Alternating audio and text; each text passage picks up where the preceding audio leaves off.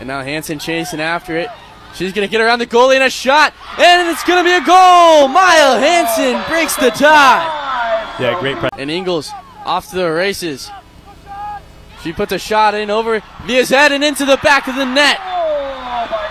What a shot to give the Hawkeyes a 2 0 lead.